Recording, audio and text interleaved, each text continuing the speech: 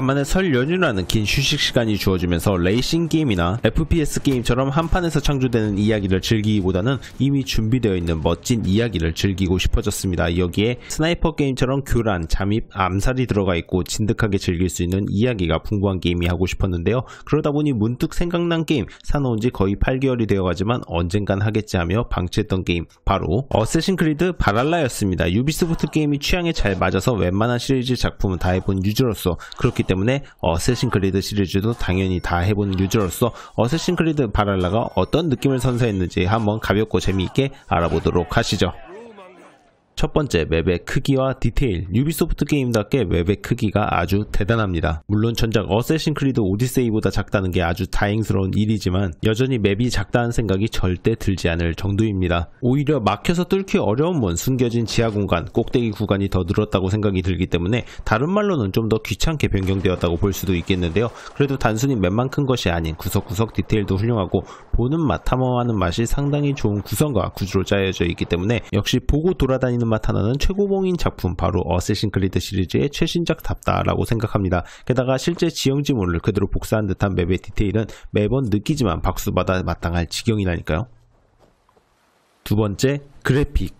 제가 막눈이라 그런지는 몰라도 전작 오디세이보다 확연히 좋아졌다라는 느낌까지는 받지 못했습니다. 하지만 평균적으로 봤을 때는 그래픽이 상당히 좋은 편입니다. 맵의 그래픽을 보자면 딱히 뭉개지거나 대충 비벼놓은 듯한 부분을 찾아보기가 힘들고 벽돌이 무너져 내리거나 비가 오고 신화적인 현상이 일어났을 때의 표현력도 좋습니다. 여기에 등장인물들의 상세한 표현력과 전투 시에 즐길 수 있는 액션 효과들도 나쁘지 않기 때문에 사실상 크게 나무랄 곳이 없습니다. 그나마 살짝 아쉬운 점이라면 어쌔신 크리드의 마스코트 아찔하게 높은 곳에서 맵의 절경을 보여주며 위치를 저장하는 동기화 진행 시에 나타나는 새들이 매우 어색할 정도를 넘어서 뒤늦게 허접한 CG 처리한 게 아닐까 싶은 것을 제외하고는 그래픽 부분에서는 매번 믿고 즐길 수 있는 시리즈 작품이란 것을 알기 때문에 매번 느끼지만 이 정도 규모의 월드를 이 정도 퀄리티로 작업하기가 정말 쉽지 않았을 텐데 참 이 부분은 대단하고 감사하다고 느낍니다.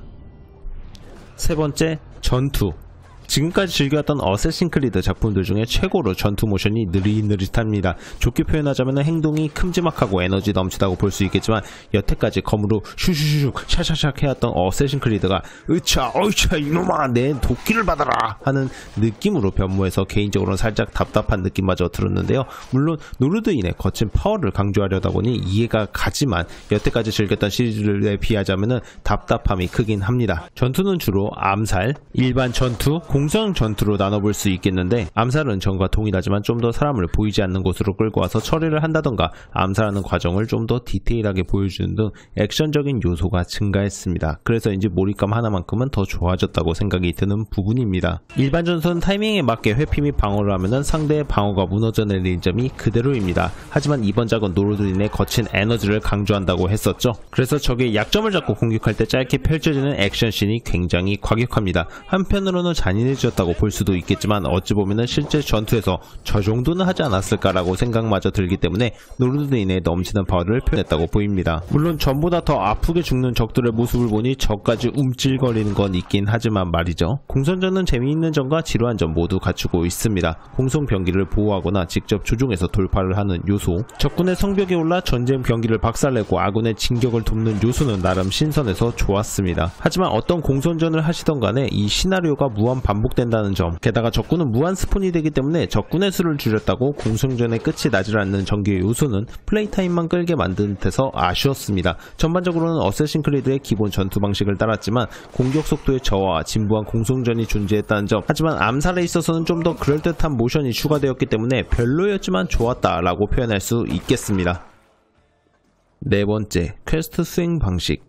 유비소프트의 특유 독점 권한 무한 반복식 퀘스트 수행 방식을 따르고 있습니다. 사실 따지고 보면 퀘스트마다 내용이 다르고 전개 방식이나 수행 방식도 달라서 아예 똑같다라고 보기엔 어려운데요. 하지만 우리가 무한 반복식이다 라고 느낄 수밖에 없냐 하면은 시작과 끝의 레퍼토리가 동일하기 때문입니다. 살짝 번외 이야기지만 유비소프트사의 게임들을 살펴보자면은 톰클랜시 고스트 리콘 시리즈는 항상 어디에 문제가 생겼다고 나보고 해결하라 하고 해결하고 오면은 이젠 저쪽이다 라며 징검다리 하나하나 건너게 하는 있다라는 느낌이고 파크라이는 갑자기 내가 중요 인물이랑 엮이더니 중요 인물을 도와주지 않으면 다 작살이 나버릴 거야 라고 해서 해결을 하면은 그 중요 인물이 뒤통수를 치거나 더 큰 위험에 빠지거나 얽혀서 또 도와주고 그러다 보니 평화를 이룩. 어쌔신 클리드는 처음엔 가족 또는 가까운 사람을 도와주다 보니 큰 인물의 수하랑 얽혀서 급작스럽게 여행 준비 후 그 대륙을 평정해야 할 만한 그럴듯한 이유를 제시하고는 어떤 문제를 해결했더니 알고 보니 저 사람이 더 문제였다 라는 먹이사슬식 전개가 이루어지다 보니 퀘스트가 대부분 반복식이다 라고 느낄 수밖에 없는 구조입니다. 다시 어쌔신 크리드 발할라로 돌아와서 보자면은 퀘스트를 수행할 만한 이야기 전개는 확실히 재미있습니다. 신화적인 요소도 가미되어 있고 사람 사이의 우정이나 의리, 사랑 이야기도 가득해서 그만큼 공감하고 몰입할 수 있어서 흥미롭습니다. 하지만 결국은 어디 가서 누굴 납치해서 진정한 적을 유인하고 진정한 적을 죽이거나 또 놓치는 것의 반복입니다. 그래서 방식에 중점을 둔다면 지루할 수도 있겠지만 이야기에 중점을 두신다면 나름 재미있게 퀘스트를 수행할 수 있을 거라 생각합니다. 다섯 번째, 스토리.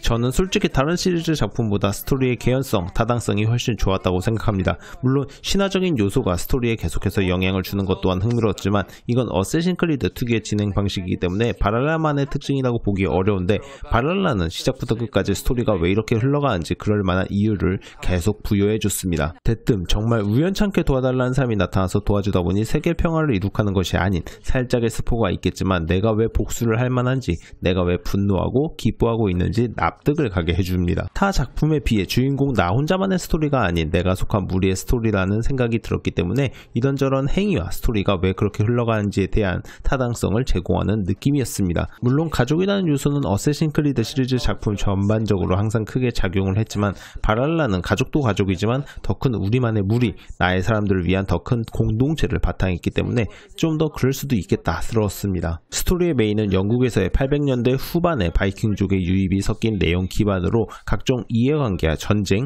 평화가 주된 스토리의 요소로서 생각보다 어둡지만 희망적이고 어렵지 않게 풀어냈습니다. 게다가 역사적인 사실을 왜곡하지 않으려고 은근하게 노력을 보인 점이 스토리에서 드러나기 때문에 그런 점도 꽤나 매력적이었고 스토리 자체가 따분하다라는 점은 없었습니다. 이건 유비소프트의 오픈월드와 더불어서 칭찬받아 마땅한 점이 아닐까 싶습니다. 물론 역사 내용을 이미 알고 계시기 때문에 보길 원치 않는 분들이나 인물끼리 대화하는 걸 차분히 읽는 것을 싫어하시는 분들께는 스토리 전개 과정 자체가 질질 끄는 장치로 작용했을 수도 있다는 점 또한 유념하시길 바랍니다. 여섯 번째, 등장인물. 거의 유일하게 주인공을 그렇게 좋아하지 않게 된 시리즈 작품이라고 생각을 하는데요. 이것도 스포일러가 될 수 있겠지만 차라리 주인공보다 주인공을 좋아하는 여성 등장인물이 더 호감이고 그분을 위해서라면 주인공 따위 던질 수도 있겠다라고 느꼈습니다. 주인공부터 살펴보자면 일단 굉장히 거칠지만 의리와 사랑 넘치고 열정적인 건 좋습니다. 사람이 패기가 있다라는 게 느껴지더군요. 하지만 정작 주어진 선택지나 결과적으로 하는 말과 행동에서 멋지다라는 느낌은 받지 못했습니다. 뭔가 자기 신념대로 한다라는 느낌보다는 어쩔 수 없이 짜맞춰준다라는 요소가 크게 느껴졌기 때문이죠. 쉽게 말씀드리자면 주인공이 하는 언행이 하나같이 고구마스럽긴 합니다. 사이다스러운 전개 과정을 보여주지 못한다고 생각합니다. 주변 인물들도 뭔가 나사가 하나씩 빠져 있습니다. 제일 중요하고 가까운 인물은 갑자기 귀신의 시인 것 마냥 딴 사람이 되어버려 있고 끝까지 아름다운 그림을 그려갈 것 같은 인물들은 컷신 한 방에 죽어버리고 등장 인물들 중에 매력적인 사람이 진짜 드뭅니다. 물론 게임 내에서 주인공이 너그러운 포지션으로 나오는 게 어느 정도 맞긴 하지만 그래도 가끔씩은 좀 취할 건 취하면서 이해를 하는 그림이 나와야지 무조건 다 죽이거나 무조건 다 살리라는 반강제 이중 선택스러운 방식은 살짝은 아쉽지 않나 싶습니다. 전부 다 그러한 것은 아니지만 전반적으로 어떠한 가치관을 강요한 듯한 느낌이 깔려있는 분위기 그러다 보니 주인공부터 시작해서 주변 인물들까지 매력도가 참 애매하게 없다라는 생각이 강했습니다. 아니 오히려 지역별 우두머리들 가끔 등장하는 조력자들